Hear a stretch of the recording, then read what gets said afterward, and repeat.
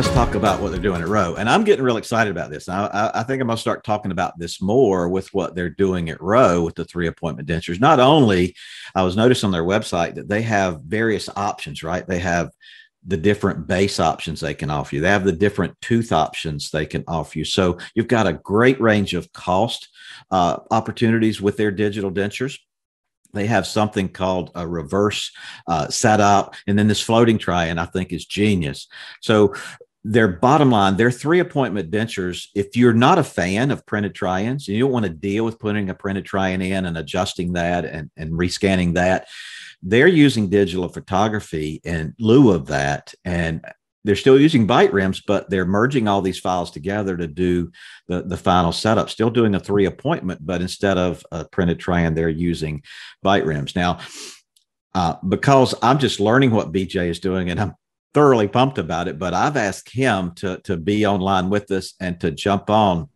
and maybe share a little bit more of this with you guys on how this process works with them. So, uh, BJ, if you're here, this is a great time for me to stop sharing and let you share and show us a little more.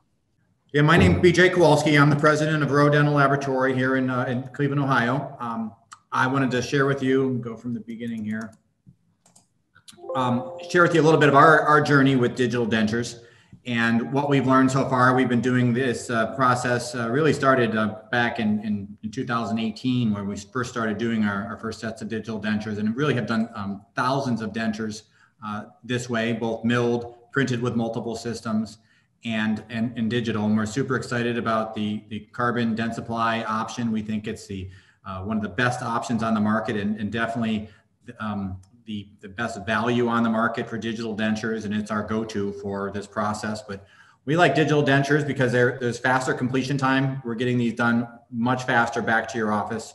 Uh, we believe we can do this with less appointments that I'll explain. The cost overall is, is lower than our regular traditional methods.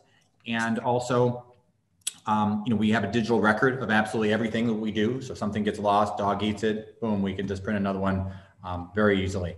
Uh, they're attractive and, and they're also strong. Uh, so, uh, you know, ROE is in, in Cleveland, Ohio. We have a, a ton of great uh, staff members uh, that do a good job each and every day. Everything's made in America with ROE. Um, have a um, whole bunch of CDTs on staff. We're very big on educating our staff and encouraging people to, to really embrace dentistry and, and make this their career and their lives and have a, a bunch of um, foreign dentists on staff as well and a few more uh, joining us, which is great because you know they really understand the full gamut of, of dentistry, which is important to the, the products that we provide for our clients. So uh, why is it better? And, and bottom line, uh, you know, these materials that Dentsply has come up with are fabulous, and Jimmy showed it in the vise and how it's stronger, which is great. But bottom line, I think it's the technology that the dentures, uh, the the software, basically positions teeth on case in and case out more consistently than a person can do. It looks at the anatomical features of the of the cast.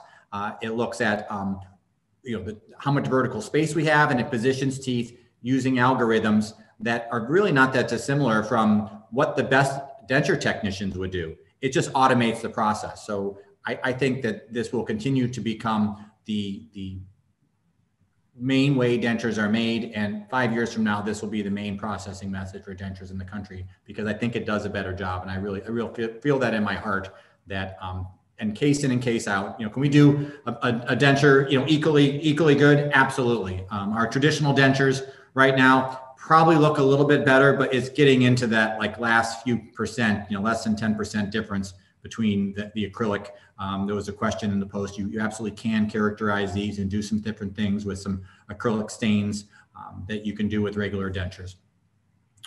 So we got started with digital dentures a long time ago. We have this guided smile product, which many will feel is the, the, the best way to do a guided full arch case on the market called CHROME GuidedSMILE.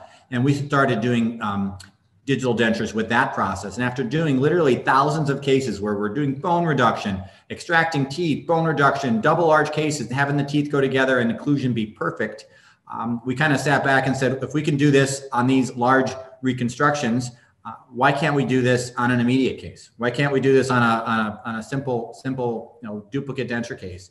And that's how we began with basically immediates, which turned out great, uh, better than we can do conventionally and um, and now we've evolved into really a full upper and lower, and, and about 60% of our workflow is done uh, digital dentures at this point. If it is is on request, if somebody asks for a denture, we still do it the conventional way. Uh, but more and more of our clients are switching over to digital for a couple of reasons. So, you know, the, the Dentsply has this workflow that this is how they go through. They, you know, new impressions, records, try and and, and full dentures. So we agree that workflow is great. And, and as a lab guy, I am never going to uh, tell a doctor we, we don't want to try in because it's, um, you know, it's always one more opportunity to check, one more opportunity to, to make it, uh, make sure we're, we're perfect in what we're doing. However, in our experience, after doing all these guided surgery cases and doing regular dentures and having case after case after case come back and say, go ahead, try in's perfect, finish the denture, we found that the chances of it being successful were the try-in where there's no changes, if the records are provided properly, which I'll explain, that we could go to, to go to finish right away. So we started advocating skipping the try-in, doing something called a reverse reset. Uh, I wouldn't set expectations too high for your patients. I would still tell them we're gonna we're gonna try this denture in. Hopefully it'll be good, and it, you know, and you can go home with it. But we may have to do another try-in.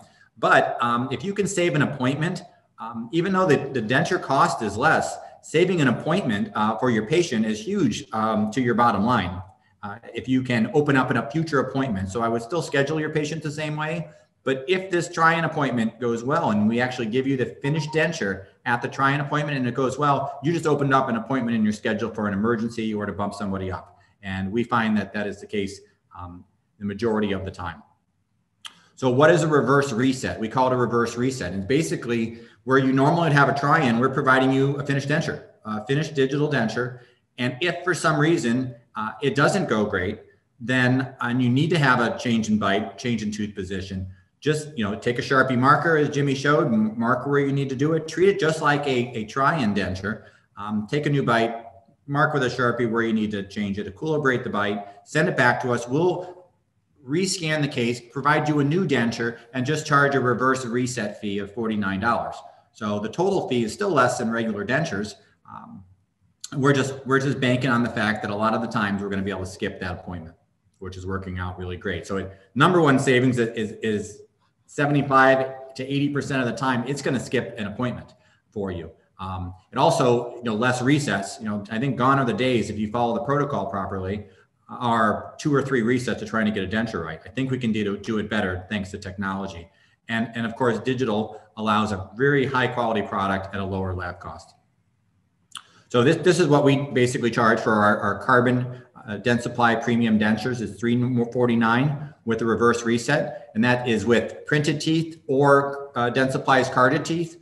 Why would you want to choose between the two? It really comes down to vertical dimension and space. If you're doing an upper and lower case, uh, using carded teeth is, is, the way to go. They do look a little bit better, uh, definitely look a little bit better. The wear resistance is fantastic. But a lot of times when you're going against an opposing uh, uh, denture or opposing natural teeth, we don't have the vertical dimension to, to, we end up grinding those teeth down so much and fitting them in. And it's a lot more of an eloquent solution to, to do printed teeth. So um, we do both. It doesn't matter the cost. Um, we also have options for an economy denture at, at $100 less. We use a different resin other than Dentsply carbon. Uh, we like to advocate those for just provisional or, or you know temporary temporary dentures um, or immediate something that is going to replace in the future. So what do you have to do differently to skip this whole appointment? And bottom line is take an awesome bite record with marking midline, marking cuspid position, marking high smile line, and give us a photo of the bite rim in place. It's, it's that simple do the bite records that you're trained to do and take a photo of this place. We don't, you know, a profile photo would be great, but bottom line, we need this photo because what we do with it is we use it to set the teeth. Gone are the days of, are, of having an articulator and looking at a, um, a, a, articulator and looking at a picture and trying to figure out where you, if you got a picture, where those teeth are supposed to go. With this process, we take the bite rim in place, when we scan the models, we basically calibrate that picture to the patient's face. And when we're, we're actually setting the teeth, we're setting them on the bite rim in the picture. So in this case, uh, as we're doing an upper and lower setup, it, it's really becomes very difficult to make a mistake with midline, with with angulation of teeth. If we can see that that cuspid is going out at a wrong angle, um, or that the intervermilion border, we're, we're you know, we're, we're, having too much length there, it, it becomes very clear um, what we need to do when we have a picture and we're using that to set the teeth. So provide us this photograph. If we start moving this cuspid where it's outside the, uh, outside the, the, lip line, um, it becomes very clear to us and our denture technicians that set these cases what we need to do. So this picture, in addition to really focusing on the bite rim, spend a few minutes on the bite rim. It's not just a bite, it's a, it's a complete record transfer of midline, eye smile line. If you want to do a face bite or, or, um, or, or, stick bite, that's fine as well. Uh, we can actually calibrate those on an articulator into the software, but that really makes a difference.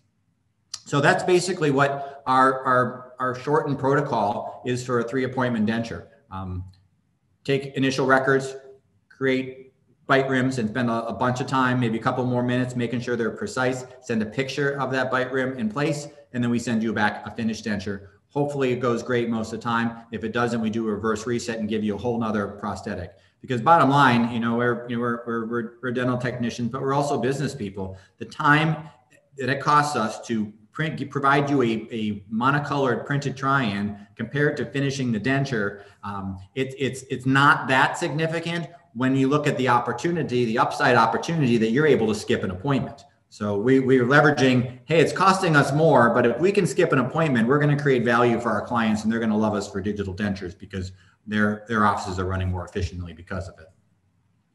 As, as uh, Jimmy said, um, using a reference denture or a copy denture is great. This is a great technique for duplicating dentures. I thought I'd throw in one more uh, neat little technique, but if this patient's denture is going well, do, do a wash, we can bring it into our scanner. You can hold it, like Jimmy said, in, into your scanner and provide that image. But there's another way to do this as well, and you can do it from a CT scan. We've been having really good success with this, you know, because of our large involvement with guided surgery cases.